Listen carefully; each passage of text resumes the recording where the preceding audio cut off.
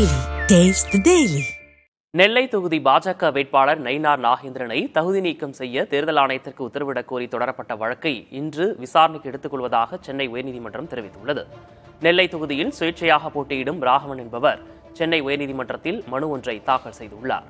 அதில் தாம்பரம் ரயில் நிலையத்தில் நான்கு கோடி ரூபாய் பிடிபட்டது தொடர்பாக பாஜக வேட்பாளர் நயினார் நாகேந்திரன் மீது சட்டவிரோத பணப்பரிமாற்ற சட்டத்தின் கீழ் நடவடிக்கை எடுக்குமாறு அமலாக்கத்துறையிடம் மனு அளித்ததாகவும் ஆனால் அந்த மனு மீது எந்த நடவடிக்கையும் எடுக்கப்படவில்லை என்றும் குறிப்பிட்டுள்ளார்.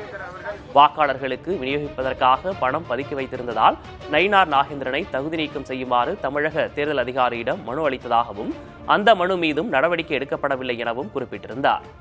நயினார் நாகேந்திரன் மீது நடவடிக்கை எடுக்க அமலாக்கத்துறைக்கு உத்தரவிடுமாறும் தகுதி நீக்கம் செய்ய தேர்தல் ஆணையத்துக்கு உத்தரவிடுமாறும் கோரியுள்ளார். இந்த மனுவை அவசர வழக்காக விசாரிக்குமாறு மனுதாரரின் வழக்கறிஞர் வலியுறுத்தினார். இதனை ஏற்றுக்கொண்ட தலைமை நீதிபதி அமர்வு வழக்கை இன்று விசாரிப்பதாக தெரிவித்துள்ளது.